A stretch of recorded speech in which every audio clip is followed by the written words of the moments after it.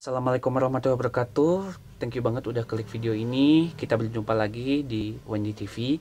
Ini adalah hari Sabtu, adalah hari di mana Wendy bakalan ngasih suguhan tentang berita viral. Gue juga udah baca-baca tentang berita-berita, entah itu di Google atau di ya, pencarian-pencarian maupun di sosmed seperti Facebook, Instagram, dan juga Twitter yang mana gue menemukan satu berita viral yang ini tuh pada hari Kamis kemarin gitu ya di Twitter khususnya. Ini ngomongin tentang pahlawan Cina bernama Rangga asal Aceh Timur. Yang mana dengan heroiknya membantu si ibunya untuk terlepas dari penjahat yang ingin berusaha untuk mengapa-apain si ibunya itu gitu ya.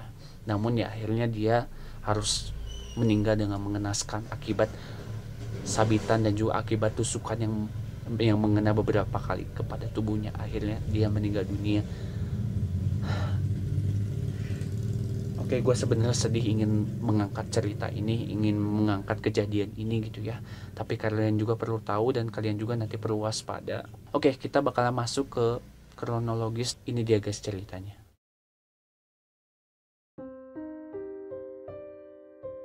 Oke, ini sebenarnya terjadi seminggu yang lalu gitu sebetulnya sebelum terangkat, sebelum akhirnya terangkat dan viral di media sosial di Twitter khususnya pada Kamis 15 Oktober kemarin gitu ya, dua hari yang lalu.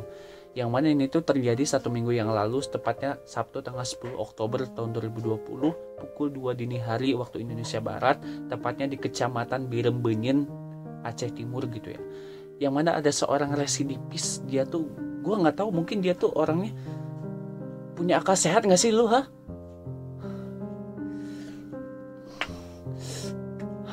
pokoknya gitu deh guys gue nggak tahu gitu ya dia tuh kenapa? Alasannya katanya dia tuh punya birahi waktu itu tuh pada waktu pukul 2 itu tuh dia punya birahi yang memuncak dia tuh pengen melakukan suatu hubungan intim tapi ya mungkin dia nggak punya lawan ya. Akhirnya dia dia gue nggak tahu dia dia punya otak nggak sih? Dia tuh secara spontanitas langsung ke rumah orang gitu aja gitu. Dan kebetulan yang dia masuk ke rumahnya itu adalah ibu DN itu yang mana ibu dari si anak pahlawan cilik yang namanya He, Rangga itu gitu.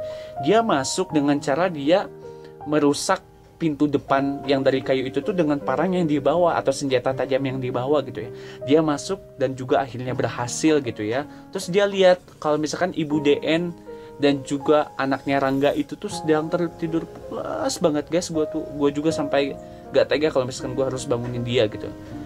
Dan secara spontan langsung membuka pakaiannya kemudian dia menyiapkan parang karena sewaktu-waktu barangkali si ibunya tuh ingin memberontak atau apa gitu ya dan emang benar pas ketika si SB atau pelaku ini tuh meraba-rabanya dia ingin melancarkan aksinya dan seketika si ibu DN ini tuh langsung sontak ter terkaget gitu.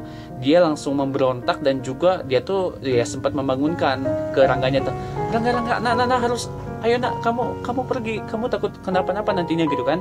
Tapi si Rangga ini tuh guys gue terharu banget gitu. Si Rangga ini tuh nggak mau pergi gitu. Dia tuh melihat kalau misalkan si orang tua si ibu yang telah melahirkan dia tuh dia tuh ya harus dibantu gitu. Si ibunya tuh harus dibantu. Dia dengan cara apa pun dia ingin membantu si ibunya.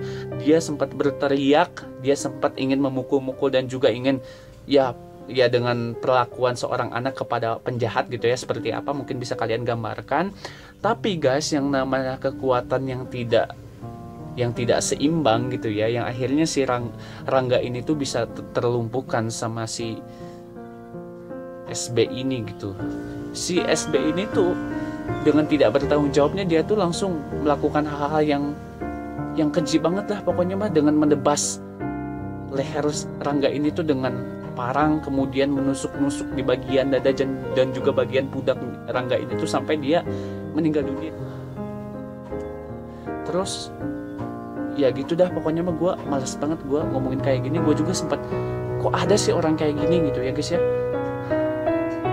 Itu kronologisnya gitu guys ya. Kenapa bisa terjadinya Rangga dan orang dan mulai kejadian ini tuh terangkat dan akhirnya Rangga ini tuh disebutkan sebagai pahlawan cilik karena kebaikan dia karena perjuangan dia ingin menyelamatkan ibunya dari penjahat dari serangan orang yang ingin menjahati dan juga memperkosa ibunya gitu, menganiaya ibunya gitu. oke guys itu sih kronologi kronologinya sampai ya akhirnya mungkin karena gagal gagal gagal sih itu tuh akhirnya dia keburu ketahuan sama warga sekitar atau apa dan akhirnya ya akhirnya ketangkap dan ya ketahuan eh, kejadian tersebut dan akhirnya dia ditangkap dan juga ditahan di polisi. Sekarang kita masuk ke fakta-fakta dari Rangga ini sendiri. Apa sih fakta yang dimiliki oleh pahlawan cilik kita ini gitu guys? Dari Aceh. Ini dia cekidot.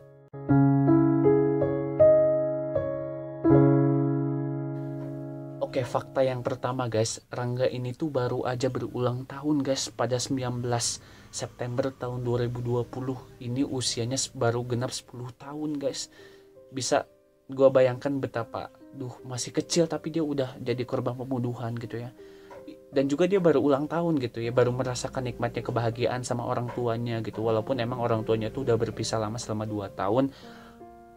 Dan kita masuk ke fakta yang kedua. Fakta yang kedua adalah Rangga baru aja dibawa sama ibunya yang ibu DN ini tuh dua minggu tinggal di Aceh. Karena sebelumnya guys Rangga ini tuh bersekolah di salah satu sekolah dasar di Medan dan ya dia tinggal bersama ayah, kakek dan neneknya di sana gitu ya setelah ayah dan ibunya tuh berpisah. Baru aja dua minggu dan dia harus meninggal dengan mengenaskan guys. Fakta yang ketiga, fakta yang ketiga adalah Rangga ini tuh adalah siswa yang berprestasi guys siswa yang berprestasi dia selama sekolah di SD ini tuh sering peringkat satu atau dua di sekolah guys ya dan juga fakta yang keempat adalah Rangga ini tuh mampu untuk belajar dan juga membaca Al-Quran. Tidak seperti orang-orang. Karena di usianya sekarang baru menginjak 10 tahun tuh nggak nggak nggak banyak itu orang yang bisa membaca Al-Quran gitu. Jadi itu kelebihan dari Rangga yang bisa gua rasa itu salut banget deh gitu buat Rangga. Dan kita masuk ke fakta yang kelima. Fakta yang kelima adalah Rangga ini tuh adalah orang yang pemberani orang yang tegas orang yang ya pokoknya dia tuh berani deh pokoknya begitu ya sampai ya dia tuh bukti dari keberaniannya adalah dilihat dari dia berusaha untuk menolong ibunya dari ancaman SP pelaku pemerkosaan ini gitu guys.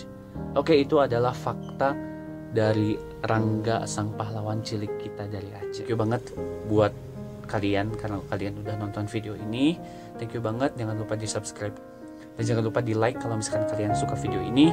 Share juga sama teman-teman kalian barangkali teman-teman kalian ataupun siapa pun itu kenalan kenalan kenalan kalian perlu informasi tentang ini. Dan juga jangan lupa buat komen manakala ada saran dan juga kritik yang membangun. Dan juga kalau misalkan ada request request mengenai konten yang ingin uh, gua bahas di next video nanti. Boleh banget di komen di kolom komentar yang ada di bawah. Oke okay guys itu aja yang bisa gue sampaikan. Thank you banget. Jazakallah khairan kasiron. Mudah-mudahan kita sehat selalu. Dan jangan lupa ingat pesan ibu yang sekarang.